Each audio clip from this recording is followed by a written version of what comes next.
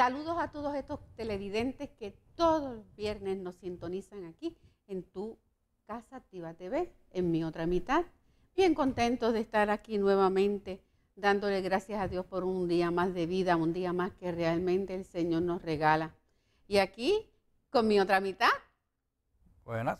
¿Cómo estás? Estamos muy contentos nuevamente compartiendo aquí con nuestros televidentes, nuestros radioescuchas y los todas estas personas que nos ven a través del internet en esta gran plataforma, ¿verdad? Y también Radio Salud. Por eso, sí, a través del radio. ¿Verdad que sí? Sí, a través de la radio. 1520. Sí, qué bueno que, ¿verdad? Nos escuchan y nos ven y están compartiendo con nosotros este, este ratito que verdaderamente lo hacemos con mucho amor y mucho cariño para todos ustedes. Y mucho respeto. Sí, mucho respeto. Hoy tenemos un tema realmente que me encanta. Me encanta algunas veces, porque, eh, y no tanto, ¿verdad? No tanto. Realmente la situación, pues, que va, el tema que vamos a dar hoy es un tema en la cual, pues, esto, mucha gente se, se siente de esa forma. Y digo que me encanta por la sencilla razón, pues, que le vamos a indicar qué es lo que ocurre para que ellos sepan en dónde realmente están ubicados, ¿verdad? Sí, y que es algo que posiblemente en algún momento también lo hemos sufrido, en, algún momento de nuestra vida hemos vivido eh, esta situación, ¿verdad? Pero antes de entrar al tema, también enviarle un saludo a estas personas que nos envían mensajes de texto y no nos ponen su nombre. Pues, ¿verdad? Les los saludamos y, y, gracias, ¿verdad? Por todos esos mensajes que, nos envían reconfortándonos y deseándonos mucha, mucha salud. Eso es así. Eso, es lo importante, tener la salud para seguir aquí con, ustedes. No, y sobre todo de que mucha gente no, nos felicita para qué, indicando de que realmente el, los temas son de gran interés, que les gusta, han aprendido mucho, que eso es, ¿verdad? eso es lo importante. Pero eh, vamos al tema. Hoy vamos a estar hablando de anedonia, cuando la vida pierde su sentido. Eh. Anedonia. Cuando la vida, estamos en esta vida caminando sin rumbo, sin ningún tipo de, sentido. Imagínate, imagínate tú cómo serían los días de uno si uno estuviera viéndolo a través de un cristal que esté empañado y que esté sucio y uno trata de limpiarlo, pero aún así de limpiarlo uno sigue viendo las cosas iguales. Y, qué difícil ¿verdad? sería para uno eh, tener una vida completamente en oscura, porque es una vida en, oscuridad, cuando estamos viviendo una vida sin, sin sentido, porque perdimos el sentido de todo. El sentido y también sin ganas cuando tú te sientes en un estado que no quieres ni tan siquiera hacer nada. En ocasiones, estas personas que realmente trabajan mucho, en ocasiones una vez, pues por lo menos una, por lo menos una vez al mes, yo creo que la persona debe de coger ese este, relajamiento. relajamiento y que pueda por lo menos pues despejarse. Pero aquí la anedonia es todo lo contrario, que es que no tienen deseos de absolutamente de nada. Pero no es un día, son todos, los, días. A cada minuto, a cada hora, que no tiene un sentido la vida. Y nosotros indicamos de que, miren, el Señor nos regala la vida y tenemos que darle sentido, ¿verdad? Sentido tanto a nivel personal como social y también espiritualmente, ¿verdad? Eh, eh, en este caso, pues imagínate tú eh, pasar el día sin tener realmente encontrarle sabor a la comida, a lo que te vas a comer, a eso que tanto te gusta o que en un momento te gustaba, porque has entrado en esta anedonia, de momento ya perdiste esa sensación de, ese placer. ¿verdad? El, si el simplemente hecho de, sentarte a, comer ya no te estimula. Y peor aún es que imagínate tú una vida, imagínate tú tu vida que, en que poco a poco, poco a poco vas perdiendo las ganas de conocer gente. Imagínate una vida que te sientas y ya tú no tengas el deseo de, de, conocer a nadie más. Que no tengas el deseo ni siquiera de compartir con tus familiares. De amar. De amar. De amar de amar, de, de, enamorarse, ver, este, mirar a los ojos a las personas. Cuando tú tienes aderonia, por lo regular las personas siempre están aquí abajo, su mirada está siempre hacia abajo. ¿Por qué? Porque no quiere tener ese contacto.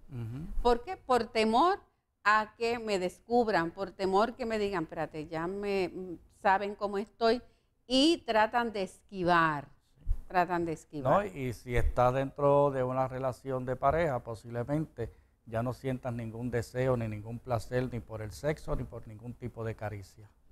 Ninguna caricia es estimulada. Nada, te estimula, nada. Y, eso verdaderamente, llevar una vida así eh, debe ser bastante triste, ¿verdad?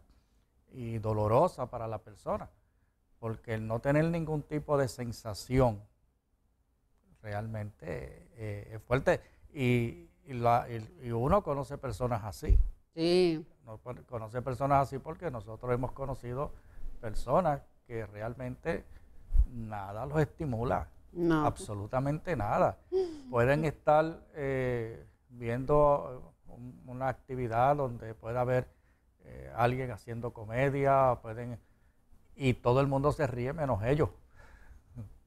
Eso Y uno lo nota, ¿verdad? Si uno usted va a este tipo de actividades, usted puede notar eh, eh, ciertas personas que, que, no se estimulan, no, no mm. reaccionan absolutamente a nada. Fíjense bien que eh, una de las cosas que el Señor nos regala es en sí la naturaleza, los olores, olores agradables. Estas personas ni tan siquiera ni los olores, ni la naturaleza les atrae, nada nada. Es que ellos quieren estar en un mundo que no existiese nada. Es como si estuviese en una isla.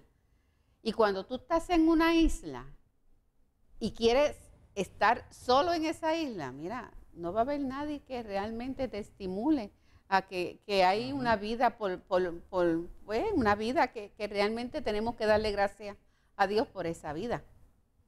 Sí, o sea que en otras palabras, ¿verdad? Eh, una definición de la anedonia es la dificultad para experimentar placer y disfrutar de situaciones habituales consideradas agradables.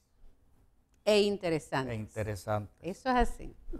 Esa, esa dificultad para tú poder experimentar el placer y mayormente el placer de vivir. El placer de el vivir. placer de vivir. El placer de tener una vida productiva el placer de disfrutarte a tus amigos, a tu familia, a tus hijos, eh, el placer de disfrutar hasta el trabajo, aunque es trabajo. ¿Verdad? Pero La palabra lo dice trabajo. Poder disfrutar el trabajo y poder disfrutar lo que verdaderamente tú haces. ¿verdad? Eh, y le, decimos a todos nuestros amigos que aquellos que quieran enviarnos un mensaje de texto, lo pueden hacer a través del 787-604-4831 y al 787-772-9315. Y para una consulta también. para una consulta también nos pueden llamar al 787-604-4831. Sí. Fíjense bien, una de las cosas también cuando uno, la persona tiene adenonia es las jornadas cotidianas lo que uno tiene que hacer en la, en la casa, realizar esas tareas para que tú te sientas bien, para que tú te sientas agradable, para que tú te sientas en sí amado. Espérate, está todo organizado. Y en ocasiones estas personas tienen su área, su casa, su entorno totalmente según están ellos, así mismo está el, hogar. Y miren, no hay, peor cosa que, que tú entres a un hogar que en la cual todo esté desorganizado porque la persona no tiene deseo de hacer absolutamente nada, porque no tiene un sentido, o sea, no tiene, se, se cayó un vaso, ahí lo dejó y pasan días y días y días y está el vaso ahí. Sí. ¿Verdad? Sí, y, eso verdaderamente sí ocurre. Ocurre, eh, aunque no lo veamos ¿verdad? Quizás tan frecuentemente, pero sí ocurre. Y queremos hacerles ver, ¿verdad? Y que entiendan que esta condición, la de no, anedonia, me da dificultad ese nombre, poquito, no es una enfermedad, no. es, sino es un síntoma que está relacionado a estados depresivos y a estados de ánimo, ¿verdad? Eh, está muy asociado también a lo que son los, a la ansiedad, trastornos de, ansiedad. O sea que no es ninguna enfermedad, sino es un síntoma que ya va detectando y que es bueno tenerlo presente porque una vez que entramos en una de estas condiciones que hemos hablado y comenzamos a tener estos síntomas, pues es importante buscar ayuda porque posiblemente estamos pasando por unos periodos de ansiedad o estamos entrando en unos estados depresivos. En otros y también esto, mayormente, esto es, eh, esto es producido principalmente por alteraciones neurobiológicas propias de la depresión. La depresión, sí. Cuando tú los niveles de dopamina. Exactamente. Cuando estás que realmente no tiene sentido, eso es lo que ocurre, estas alteraciones neurobiológicas que están afectando en sí tu estado de ánimo y tu ese deseo de, no vivir. Y eso es un peligro, ¿sabes? Eso es un peligro porque está el leve, moderado y el grave. Y tenemos que estar atentos y si familiar, si tú ves a alguno de tus familiares que están en esa situación, simplemente alerta, ¿verdad? Esté presente, eh, hay ayuda, puedes buscar ayuda. Así que realmente les aconsejamos que busquen ayuda. Y esto mayormente lo, no, tan, no tan solamente a, a, este, a personas mayores que le ocurren, también a toda persona, a cualquier edad. esto ocurre a cualquier edad. Fíjate, y esto es un término eh, que se introduce en el 1897. 1897 eh, por Armand Ribot, ¿verdad? Que este, esta persona describe este estado mental en el 1897 para identificar aquellas personas que manifestaban una condición de, donde no experimentaban ningún tipo de emociones placenteras. Y él lo, trae este término muy parecido, eh, dejándose llevar por la palabra anestesia. ¿Verdad? Que cuando tú estás anestesia, tú no tienes, tú no sientes dolor, no tienes, estás completamente insensible a todo. Pues él asocia la anedonia con la con ese tipo de anestesia y por eso le pone este nombre. En el 1897. Eh, cuando Juan nació. pues nada, ya mismo regresamos aquí en mi otra mitad.